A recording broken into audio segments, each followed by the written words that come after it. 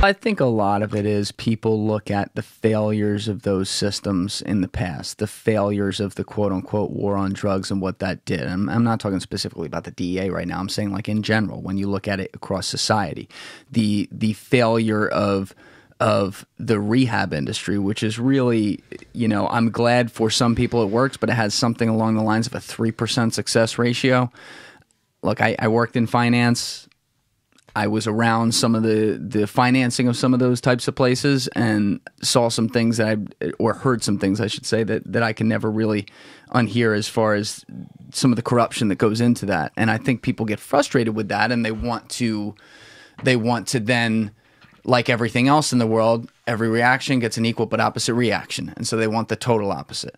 To be clear on counting on your hands with the people who are asking that question, I don't have an opinion yet on on what that is. My if if you ask me right now, I would say no. I'm not going to legalize everything, but I would say like, how do we look at like your availability problem, for example? Because I'll tell you, nothing shocked me at college except one thing. And that, that was that was great. That like I went to college and it was kind of exactly what I expected. I had a good time, but it was like high school, but on steroids. Everyone had fun, great experience.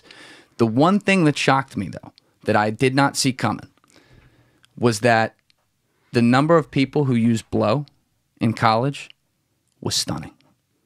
By my senior year, it was used, and I would use this word excessively more than marijuana. And I was like, you know, my line was always simple. I was like, can kill me, right? So if I had a line of like what I was going to do, I, I always fell on on the side of all right, I'm going to drink some alcohol and, and smoke some weed because I got to drink a lot of alcohol for that to kill me, and weed's not going to kill me. Coke was always something like, oh, I don't want to be Len Bias. You know, that shit can stop your heart. And it also looked like a really, really good time. And I'm like, I feel like I would like that a lot. So I never did it. But the number of people who did was shocking. So when we're talking about availability with black markets, and we're going to be laying out where this all comes from No, and how no, you are intricately tied to that. Absolutely, like, no question about it. How do you stop that? Well, just imagine, just imagine if it was available down at the local Packy liquor store for you to buy. Hey, let's go down and buy an ounce of Coke. It's the price is only ninety dollars today. They're having a special. Or it's a two two ounces for one or whatever. Imagine all those college kids, et cetera, et cetera. And some of them end up like Lenny Bias, or some some of them end up like John Belushi, or some of the other folks. But my point is this: and I like the parallels that you gave when you talked about cocaine over here and you talked about marijuana and alcohol over here. And then you used the word, I think, two or three times line. Yeah. No a pun line, intended. a line. I got it. I got it. I got it. But that's exactly where I thought you might be going to when you had no, that. no, when you had that there. So, no pun intended. Good play on words.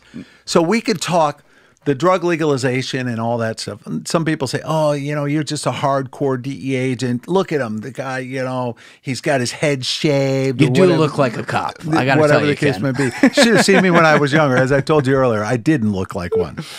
And uh, you know, and and uh, and so my my point is, I do I do come up with life experiences that show me a lot of different things.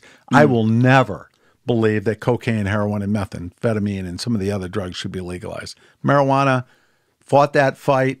Government fought it. Everybody else fought it. Whatever the case may be, it's over there.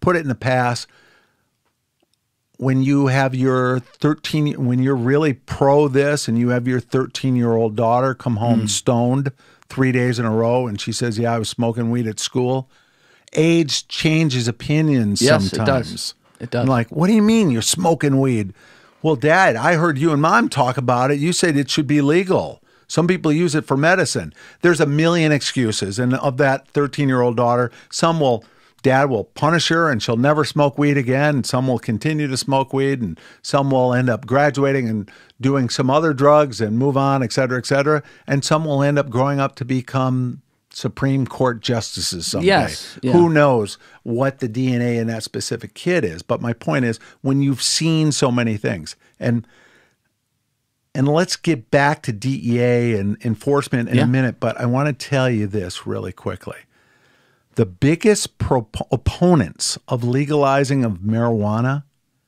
are former marijuana users that go to NA, Narcotics Anonymous, and AA meetings. You mm. go in there and you talk to them and they're like, dude, you wouldn't believe it. They say it's not addictive. Well, it might not be physically addictive, but psychologically, that's all I ever did. I woke up, Sure. I smoked weed all Sure. day long. I was, I lost Yes. my family, I lost my kids, I lost my job because I was a stoner the entire time.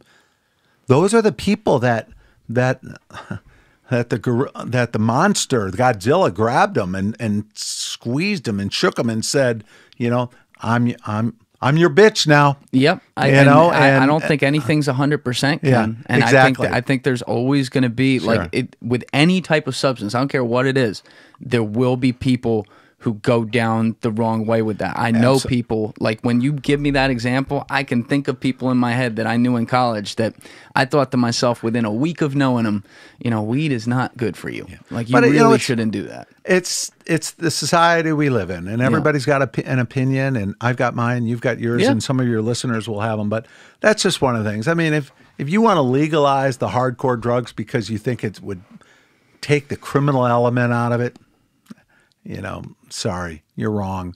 You've you've had maybe a drink and you think that's a great idea. It's not if you really study it. Thank you for watching the video, guys. Please hit that subscribe button and check out this clip's full podcast episode by clicking here or in the description below.